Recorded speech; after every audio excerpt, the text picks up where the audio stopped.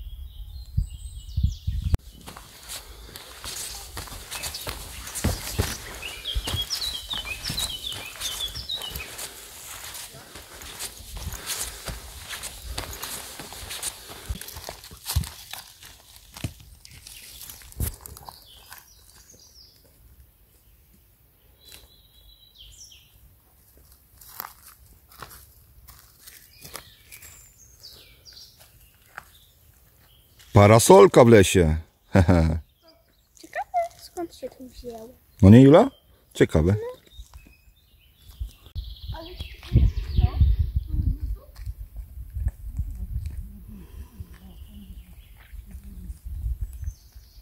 Słuchajcie, leśnikiem nie jestem, więc nie mam pojęcia co to jest. Na jednym drzewie, na drugim drzewie dechy po prostu tak o przytwierdzone. Nie mam pojęcia w jakim celu, może wy macie pomysł. Osobiście uwielbiam Beskid Wyspowy z tego powodu, że te tereny jeszcze nie są tak oblegane przez turystów. Naprawdę na szlaku ciężko kogoś spotkać z plecakiem. Naprawdę, uwierzcie mi, więc serdecznie zapraszam w te rejony. Piękne rejony, to są y, rejony Limanowe i Tymbarku, Słopnic. O, pięknie, no. No i przede wszystkim trzeba zwiedzić Mogielicę, najwyższy szczyt Beskidu Wyspowego. Tam jest piękna wieża widokowa. Kiedyś nagrywaliśmy o niej materiał, wchodziłem na nią po czworakach, na czworakach, no. Bo jest taka stroma, że po prostu mam lęk wysokości fest. Stałem na środku wieży i mnie tak bujało, nie? Nie podszedłem do barierki, po prostu mam taki lęk wysokości. Cóż zrobić? Tak mam, no. Dzieciaki szaleją, żona tam tak samo foci przyrodę. Bardzo fajny chillout. Udała nam się pięknie pogoda, bo jak widzicie, żadnej chmurki na niebie. O kurczę, jak pięknie.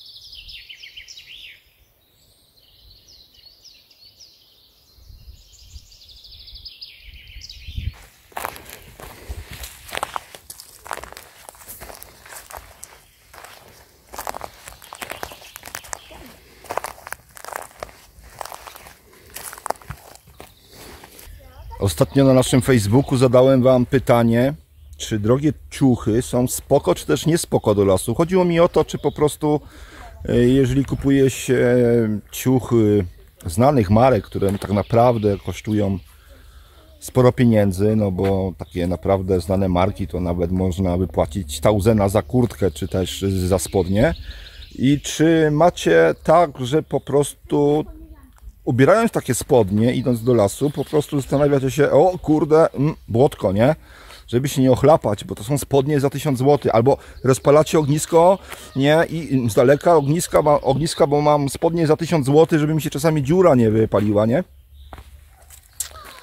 Ja wiem, zdaję sobie z tego sprawę, że my jako youtuberzy nas często wspierają różnego rodzaju marki i po prostu użytkujemy te ciuchy, tak? No bo nam wysyłają i w ogóle. No. I wtedy można tych ciuchów po prostu nie oszczędzać, te jak po prostu by się wypłaciło własną kasę i kupiło takie spodnie. Jest trochę inne podejście.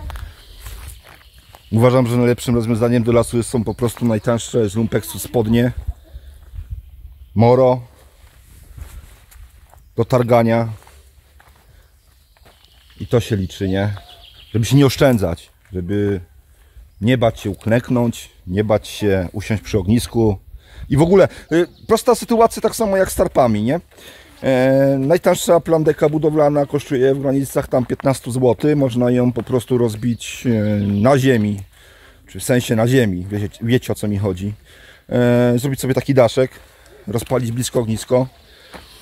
No i czy wypali się dziura, czy się nie wypali, to nie szkoda, tak? No ale w przypadku, jeżeli na przykład mamy drogi tarp, chociażby Lesowika, czy tam Flyhamaka, czy innej marki, tak już trochę szkoda. Oczywiście można łatać dziury potem, no ale ten sprzęt po prostu się eksploatuje na tyle, że może wytrzymać tylko jeden sezon takich aktywnych ludzi, co często chodzą do lasu.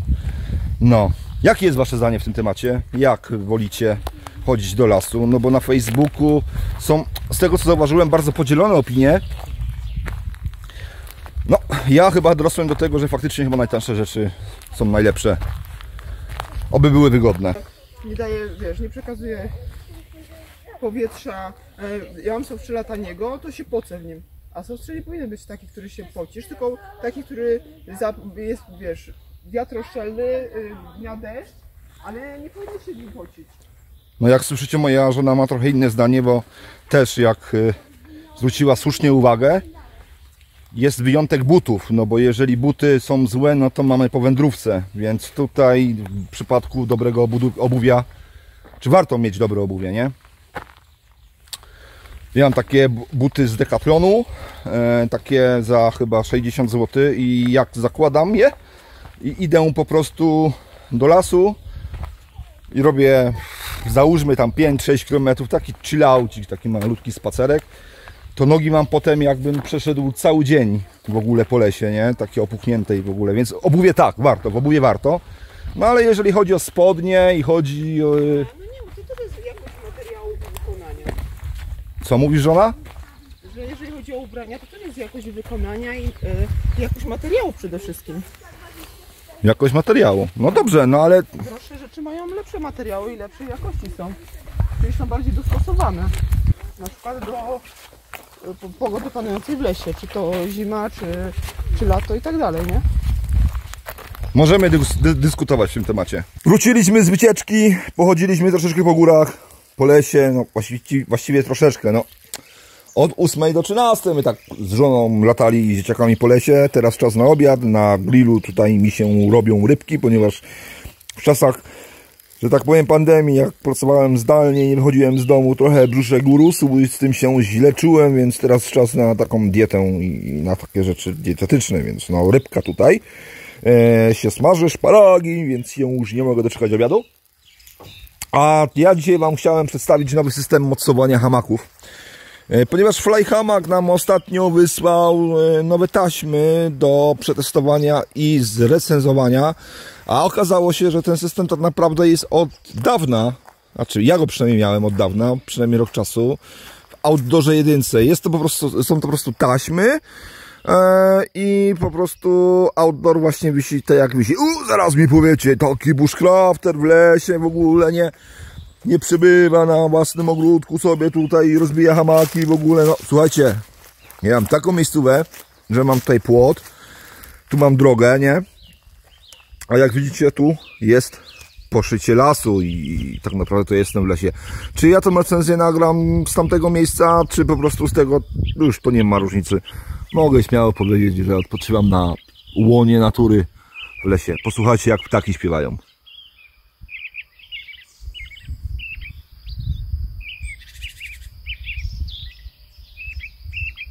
Wszystko. No, i teraz tak, rozbiłem tutaj dwa hamaki. Oczywiście są e, hamaki fly hamaka. I tutaj mamy standardowe rozwiązanie. Tak zwane łupislingi. O, tutaj mamy. Tak to wygląda. Tutaj Jula się huśta.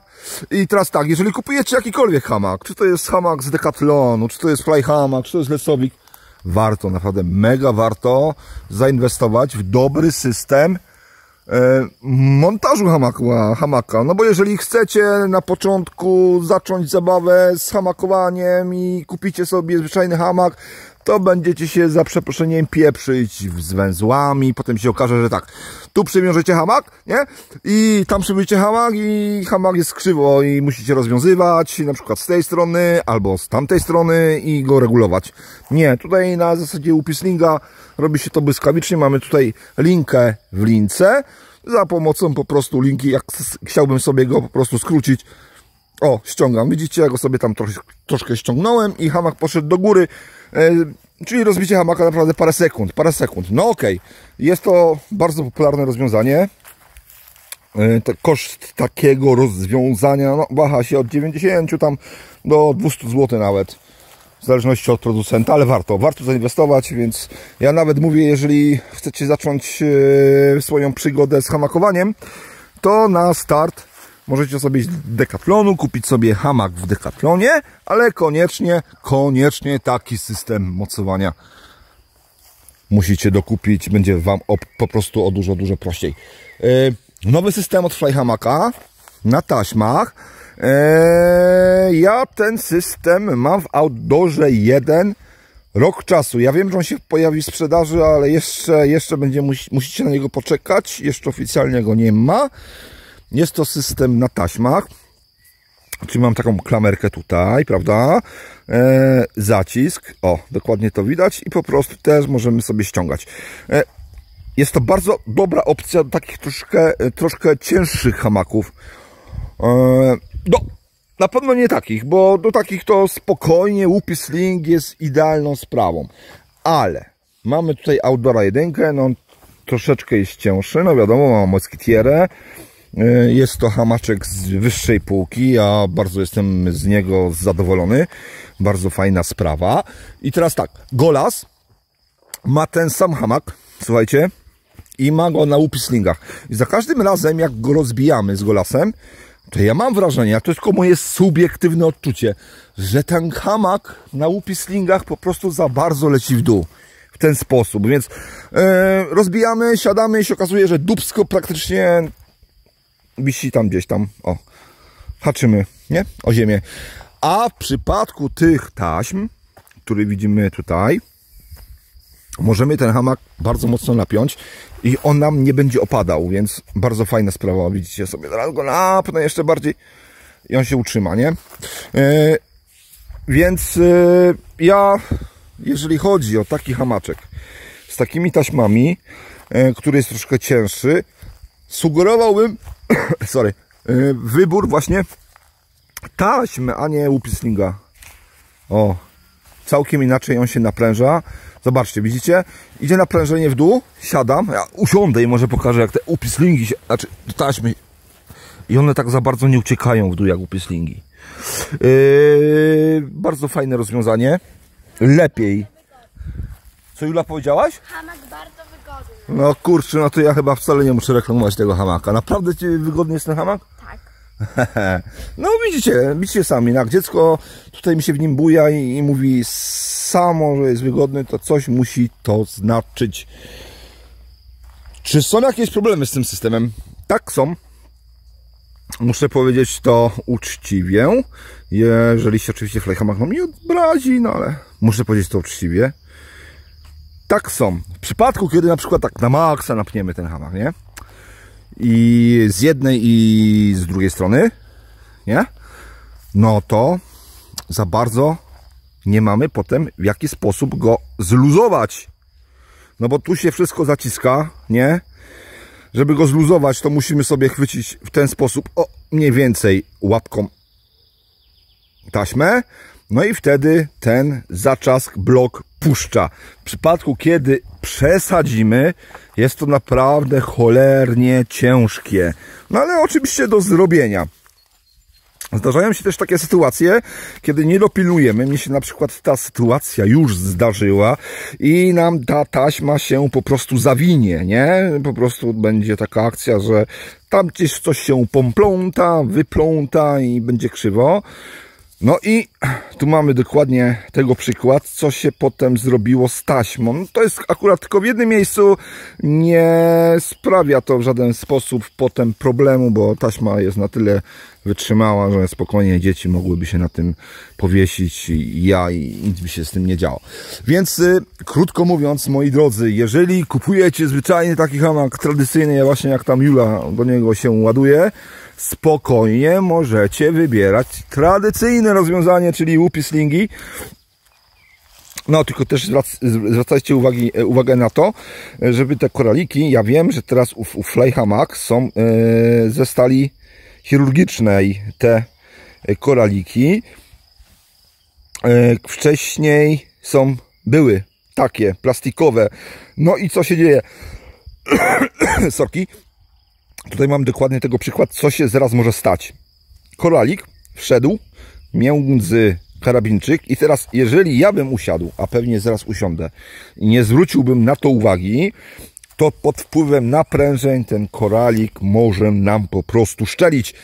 A jak nam szczeli, to co się dzieje? Jeżeli się zapomnimy i wyciągniemy potem upis linga właśnie z karabinczyka, o tak, to może nam się zaciągnąć w te miejsce. I system montażowy tak naprawdę, o kurczę, nie złapie ostrości chyba, o widać, system montażowy w tym momencie będzie do wyrzucenia, no bo, bo się po prostu zaciągnie, nie, i już tego nie wyciągniemy, nie wyciągniemy. Przynajmniej w takich domowych warunkach jak ja i bez narzędzi specjalistycznych nie jestem w stanie tego wyciągnąć. Więc zwracajcie na to uwagę, jak będziecie kupować sobie jakieś tam łupy slingi, to żeby właśnie te koraliki blokujące e, możliwość zaciągnięcia łupy slinga były ze stali chirurgicznej, a nie z plastiku. Prostuję jeszcze raz Fly Hammock w najnowszej ofercie i ma ze stali chirurgicznej. Ja mam po prostu najstarszy system montażowy jaki jest. Tyle chciałem powiedzieć. No, yy, ale jeszcze raz powtórzę, jeżeli mamy trochę cięższy hamak, czyli na przykład hamak z moskitierą, yy, czy też z otulem, no to zdecydowanie o dużo, dużo lepiej mi się wisi na taśmach. Po prostu te siły całkiem inaczej mi się rozkładają i jest to odczuwalne, no. Yy, to jak mówię, no Golas na Outdoorze jedynce ma właśnie, o, podciągnę sobie, widzicie.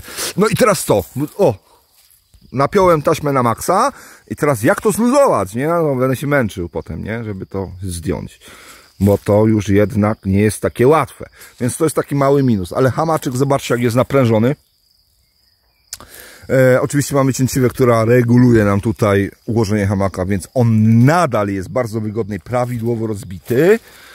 Ale jednak trzeba o tym pamiętać żeby za bardzo mocno nie naciągać tego. I uważam, że do tych cięższych hamaków, takich bardziej topornych, to rozwiązanie jest o dużo, dużo lepsze. E, no prosty przykład widzicie tutaj. Ja wiem, że jest zbyt yy, duża odległość między drzewami. Tutaj nie ma takiej odległości. No ale sami widzicie, jak leci upisnik w tym momencie, nie? Bardziej pod skosem. O, w ten sposób. No, Jula dzisiaj zostanie bohaterką naszego odcinka Leśnych Ludzi. Chcesz kogoś pozdrowić?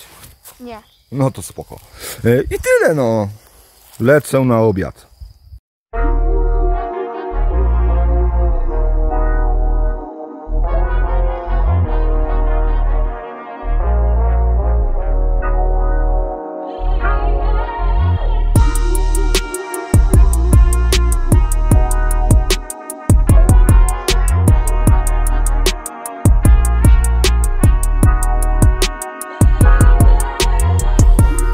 Nie obejdzie się bez narzekania. Siekiera wbita w drzewo. Tutaj, jak widać, było cięte czy też rąbane. Syf w lesie, a najbardziej rozwaliło mnie to, że ktoś sobie tutaj zrobił biwaczek. Zrobił sobie ławeczki, nie wiem skąd targał deski. No ale śmieci zabrać ze sobą. Ciężko my to zabierzemy oczywiście, nie? Masakra. Proszę, drzewa połamane. No nie, po prostu płakać się chce, nie? Masakra. Dzień drugi na Beskidzie Wyspowym. Dzisiaj tak samo spacerek, niestety nam się mocno zepsuła pogoda. Tam dzieciaki, o, są, Jula jest tak samo tutaj.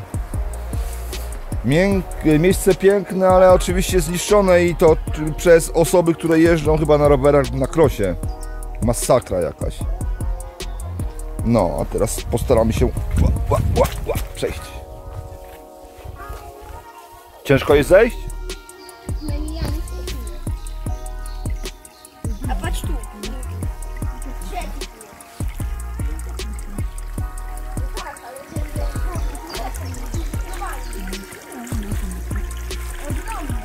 Jak go w ogóle nie? No tak, tu, tu, tu. Patrz na to mam. Dobra, teraz idziemy.